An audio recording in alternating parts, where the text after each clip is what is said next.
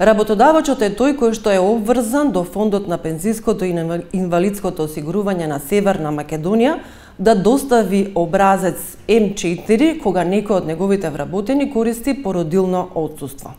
Во образецот се впишуваат податоци за часови на боледување, но не и податоци за надоместокот.